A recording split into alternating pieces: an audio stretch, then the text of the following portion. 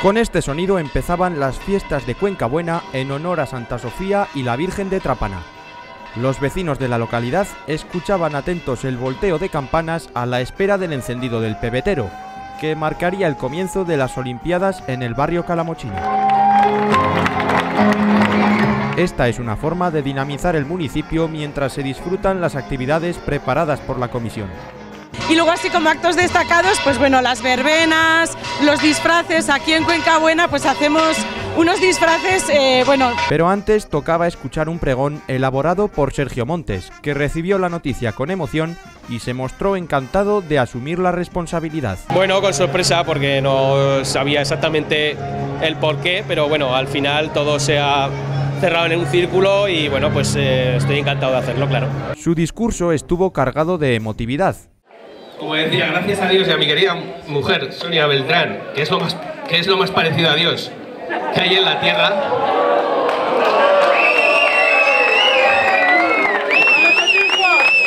Para lo bueno, claro. Me enseñó que esto de ser de pueblo, que esto de ser de pueblo es mucho más de lo que nos imaginamos.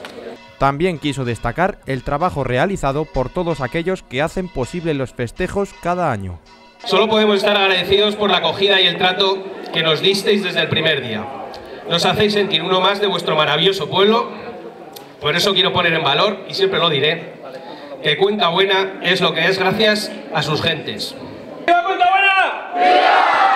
¡Viva Cuenca Buena! Después del estallido del cohete, la charanga empezó a tocar y comenzó el recorrido por las peñas. Parientes, treinta y tantos... Es que las tengo que contar. Eso, eso, a contarlas para no dejarnos ninguna, que seguro que tenéis muchas ganas de fiesta. Hay muchísimas. Bueno, sí, hay muchas ganas de fiesta siempre. Pues hombre, hay muchísimas ganas. Los vecinos de Cuenca Buena están encantados de recibir a quien lo desee, no solo para las fiestas del próximo 2025, que por cierto tienes que apuntar en tu agenda, sino también durante todo el año. Bueno, pues el mensaje que mandaría a la gente de fuera es que se lo va a pasar muy bien, que somos un, un pueblo con, con muy acogedor, con buen- muy buena gente. Eh, se animen a, a venir y a pasar un rato entrañable en, en una zona pues que, que está muy bien, muy tranquila, pero con muchas ganas de divertirse. Tenéis que venir porque son las mejores fiestas del mundo entero. Venid, que Cuenca Buena está abierta para todo el mundo. ¡Viva Cuenca Buena!